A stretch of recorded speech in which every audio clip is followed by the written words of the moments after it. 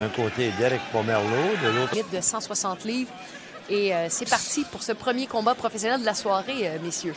Schloudil, qui lui a trois tâches à son dossier. Sa défaite et deux combats nuls. Sa défaite, c'était son dernier combat. C'était à Malte, qui a perdu une décision majoritaire contre Chambry, qui avait une fiche de 22 victoires, 9 défaites et un combat nul. Et c'est deux combats nuls, un au Canada et un en Autriche. Donc, le gars, il est sur la route. Là. Il n'est pas protégé.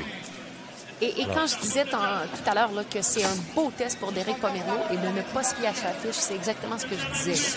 Et Schloudil fait la même chose qu'il avait fait avec Poulain. Il passe, s'en va, c'est lui qui a pris le centre du ring, repousse son adversaire dans l'état. Beau de la part de Pomerleau, là.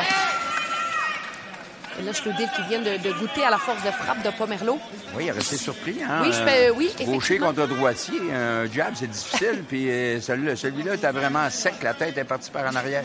Et il faut le dire, là, pour les gens qui nous regardent à la maison, en début de combat, lorsqu'on reçoit les premiers coups à froid, il se peut qu'on soit un petit peu surpris. Euh, voyons voir s'il euh, va se réchauffer et est capable de prendre les coups d'Erec ou si, comme la plupart des combats de Derek, ça va se terminer rapidement. Marlowe, qui est un boxeur cérébral, qui euh, réfléchit, qui euh, euh, des tactiques, euh, essaie de tromper son adversaire. Donc, un boxeur qui est pas mécanique. On voit les deux boxeurs euh, s'étudier. Derek Pomero qui est euh, adossé au câble. Pour certains boxeurs, euh, on est oh, et là, encore une fois. Il lui a fait mal, il a plié en les contre-attaque, oui. Oh! Bien placé à part ça. Euh, Précision. et, et là, qui redevient patient. Donc, on- je pense qu'on lui a demandé attends le bon moment, étudie-le. Et quelle force de frappe sur le jab. C'est avec le jab bon qu'il a ébranlé en. euh, Gaucher contre droitier est aussi précis. Wow!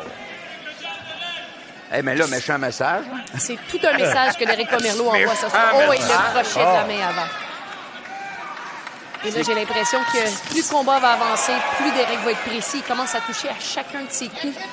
c'est que Schloudil, ayant été atteint seulement contre le jab, elle va tenter de se protéger, il va être méfiant, mais là, il va être ouvert contre le crochet de la main avant. Là. Euh, Pomerleau va être capable, lui, là, de le tromper et de placer son crochet de la main avant, tellement que être avec la main droite après, comme il Ouais. vient de le faire, Bernard. Tu l'as si bien mentionné. Pomerleau qui prend bien son temps. Il aurait pu partir en peur s'il avait voulu. Hein? On, l'a vu faire signe oui de la tête. Donc, à mon avis, il y a du Stéphane Larouche euh, derrière la patience de Derek Pomerleau ce soir.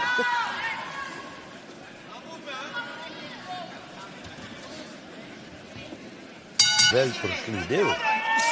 On dit qu'à la boxe, tout peut arriver. Ah. Mais euh, c'est sûr qu'avec le message que Derek Pomerleau a envoyé au premier round, Oh, euh, euh, va- sûrement être hésitant dans ce deuxième round. Mais le message, sans aucun doute, de son entraîneur, Schloudil, et on voit la différence. Regarde la hauteur des mains de Schloudil. Il lui a dit, tiens tes mains hautes, puis il vise ton menton. Ça, c'est- Oh! Ah, encore la main arrière! Oh, quelle belle main gauche. Et ça, gaucher contre droitier, souvent la main arrière, la main gauche va devenir comme un jab. Et euh, c'était très précis de la part de Derek. N'oubliez pas que Pomerleau a été inactif au cours des sept derniers mois, si je ne me trompe pas.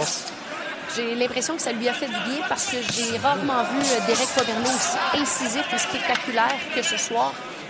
Et d'ailleurs, on voit Schloudil qui Oh, est déjà l'œil coupé droit, en dessous de l'œil, exactement.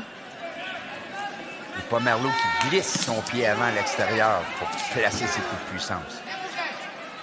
Bon mouvement défensif, là.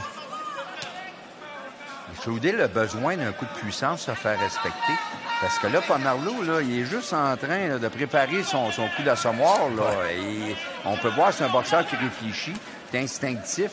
Et euh, on, on peut voir de la méchanceté dans ses yeux jusqu'à un certain point. là. Et, et le vent du combat a changé. hein, parce que Derek était dans le corde. Là, ça se passe au milieu du ring. Alors que euh, Schloudil a glissé au plancher. C'est un compte parce qu'il avait été touché avant d'aller au plancher. Direct au corps, crochet à la tête, perte d'équilibre, mais il est tombé au sol sur un coup de poing, doit être compté. Et la confiance semble régner chez Pomerleau. Hein? Oui, parce que Pomerleau qui euh, commence à, à mettre la pression, qui devient l'agresseur dans le combat alors qu'il avait commencé le, le combat en contre-attaque. Cette fois-ci, c'est lui qui force l'action et Schloudil qui recule. là. Ah, voilà. Bonne gauche de la part de Schloudil. Parce que maintenant, on a l'impression, Pomerleau, dans un sens unique. Là. Ouais. Et il n'est pas inquiet, il n'a jamais été inquiété, jamais touché. Et là, on regarde, là, il est juste en train de calculer et de tromper l'adversaire. Et euh, on a pu voir une belle variété de coups dans son cas. Belle esquive. Hein? Belle esquive. Derek Pomerleau qui semble dans un match d'échecs en ce moment. Il cherche son prochain coup euh, en contrôle, calme, au centre du ring. Et c'est le, le- le niveau d'expérience qu'on veut voir d'un jeune boxeur.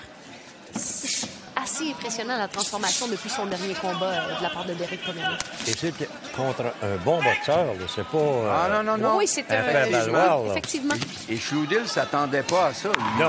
il est Oh. vraiment surpris de se faire ramasser comme ça en début de combat. là.